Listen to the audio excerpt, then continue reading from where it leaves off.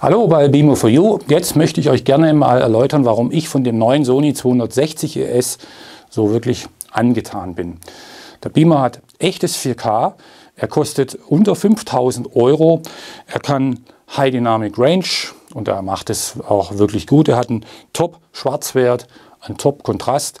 Ich kann mein Bild einstellen vom Sofa aus mit einer Fernbedienung und er hat auch eine sehr gute Schärfe. All das, finde ich, macht den Sony zu einem wirklich sehr, sehr guten Beamer. Ich bin auch immer so ein bisschen geflasht, muss ich sagen, wenn ich jetzt eine Zeit lang ähm, zum Beispiel einen anderen guten Beamer gesehen habe oder auch äh, zwei, drei Modelle, zum Beispiel einen Sony HW65 oder auch ähm, einen Epson 9300 wenn man dann so das Bild so im Kopf gewohnt ist und man schaltet dann mal wieder so einen äh, Sony Beamer ein, also Sony 260 zum Beispiel oder 550er, dann merkt man einfach, das ist einfach nochmal eine andere Kategorie. Wenn man jetzt ähm, das irgendwie erklären wollte, dann finde ich, dann wird das schwierig. Also äh, ich habe da meine Mühe damit. Klar kann man sagen, hier ist der Kontrastwert äh, etwas besser oder hier ist der Schwarzwert nochmal besser wie bei dem anderen Beamer. Aber also richtig greifbar, finde ich, ähm, ist es nicht. Aber man sieht es einfach. Und dazu kann ich euch nur raten, eigentlich mal die Beamer im Vergleich sich anzuschauen. Ähm, dann werdet ihr auch selber sehen, dass äh, der neue 260er wirklich ein Top-Beamer ist. Warum rate ich gerade zum äh, Sony 260? Es gibt da jetzt auch den 360er, jetzt mal abgesehen von dem Laserbeamer für 15.000 Euro für den, äh, von dem äh, 760er. Der 260er, finde ich, hat einfach, ja, man kann sagen, die beste Preis-Leistung. Er ist 2000 Euro günstiger als der 360er. Und der Unterschied zwischen beiden Beamern ist eigentlich nur der, dass der 360er noch diese Iris-Blende mit an Bord hat. Das bedeutet, in wirklich dunklen Szenen, also wenn man sich so eine Star Wars-Szene vorstellt mit dunklem Weltall und äh, ein paar kleinen funkelnden Sternen, dann macht hier die Iris zu und es kommt weniger Licht auf die Leinwand und dadurch steigt dann der Kontrast und das Bild sieht dann nochmal etwas plastischer aus. Das, der nächste Punkt, wo sich die beiden Beamer unterscheiden, ist, dass dann der 360er auch noch eine ähm, Bildmemory-Funktion mit an Bord hat. Das heißt, man kann also sein Bild genau abspeichern und auf Knopfdruck fährt er dann das Bild oder richtet er dann das Bild genau auf die Leinwand aus, so wie man das abgespeichert hat. Das ist alles schön und gut äh, ist klasse. Aber wenn man jetzt sich überlegt, kostet eben 2000 Euro mehr, dann finde ich, von der Preis-Leistung ist eben der 260er das interessantere Gerät, weil er hat einfach all das mit an Bord, um eben ein Top-Bild auf die Leinwand zu bringen. Und wenn ihr euch das mal live anschaut, wenn ihr wollt, kommt gerne hierher, schaut es euch an, dann werdet ihr das bestimmt auch bestätigen können und wollen.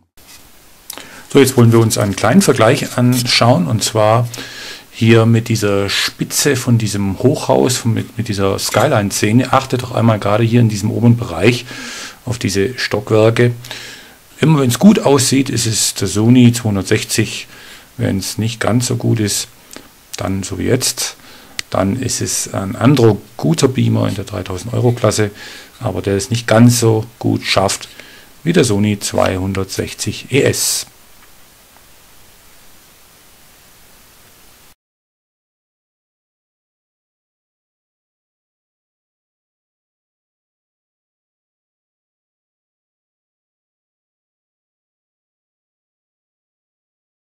So, dann achten wir jetzt bitte mal hier auf diesen, diesen Bereich, wenn ich jetzt hier gleich umschalte auf den anderen Beamer, wie dann hier das Bild sich verändert. Wie gesagt, es ist natürlich so auch schlecht darzustellen, aber ich will auch ein bisschen etwas zeigen, wie so der Unterschied ist und vielleicht sieht man es ja doch bei euch zu Hause auf dem Monitor. Ist jetzt ein anderer sehr guter Beamer, kann man natürlich auch nicht meckern bei dem Bild, ohne Frage. Aber hier sieht doch das Ganze im Unterschied deutlich differenzierter aus und macht einen ganz anderen Bildeindruck. So, ich hoffe, ich konnte euch ein paar kleine Eindrücke wenigstens vermitteln von dem Sony 260 ES.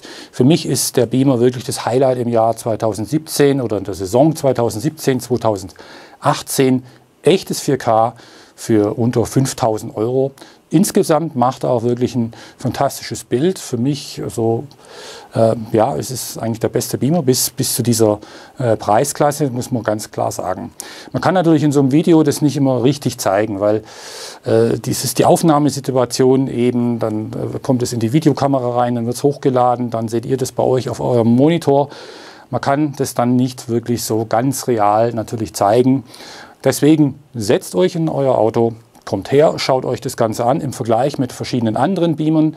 Die haben wir entsprechend da und dann könnt ihr ruhig und entspannt hier euer, euren besten Beamer fürs Geld entsprechend raussuchen. Wir haben auch verschiedene Leinwände da. Im Hintergrund seht ihr hier die Stuart, Studiotech 130, dann haben wir die Spaluto Grand Cinema da, wir haben die Kauber mit weißem Tuch da, die Red Label haben wir da mit dem Peak Kontrast S-Tuch. Dann haben wir noch die Elite Screen Saker 5D. Wir haben die Elite Screen mit 3D-Tuch da. Im oberen Bereich haben wir die React 3.0 von Draper und auch die Stuart Firehawk G4. Ich hoffe, ich habe keine vergessen, aber ihr seht wirklich eine große Anzahl von Leinwänden, sodass man hier auch so das perfekte Bildergebnis für sich zu Hause hier herausschöpfen kann. Ich hoffe, ihr konntet was mitnehmen. Mir hat es Freude gemacht. Ich hoffe, euch auch. Bis bald dann sieht man sich wieder. Tschüss!